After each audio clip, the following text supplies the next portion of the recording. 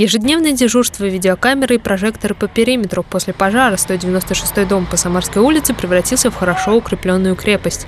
Истину о том, что друзья познаются в беде, семья Дворецких проверила на себе. Напомним, пожар случился 22 октября, когда хозяев дома не было. Пожарные друзья из велоклуба успели вовремя, дом удалось спасти. Кто как может, чем помогает, то есть кто приезжал строить, кто деньгами. Ну, а здесь, собственно, строительный инструмент. Пожарные пока не огласили официальную причину. Потерпевшая сторона уверена, дом подожгли.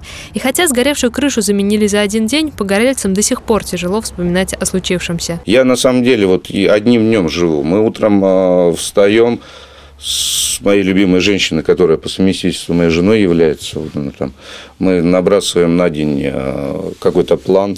На перспективу мы не Частный дом Дворецких остался последним на стройплощадке. По проекту компании «Новое время» здесь, в центре города, должен появиться многоэтажный жилой комплекс «Империал». Соседние постройки уже расселили и снесли. Камень преткновения – обитель семьи Дворецких. Как только можно это по закону, как мы делаем переговоры, договариваемся. Других путей нет.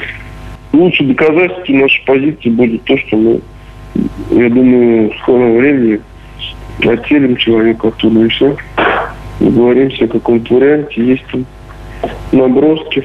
Застройщик предлагал деньги, но, видимо, не сошлись по сумме. Переговоры идут до сих пор. Семья Дворецких ставит условия – предоставить им другой участок под строительство. Раньше думали перенести туда свой старый дом, но после пожара эта идея потеряла актуальность. Все пропахло дымом. Теперь, чтобы добраться до колонки с водой, жителям 196-го дома приходится пройти целую полосу препятствий. Пока дом потихоньку восстанавливают, на большом строительном участке уже начались работы. Улицу Самарскую оградили железным забором. Анастасия Зубрева, Алексей Золотенков. События.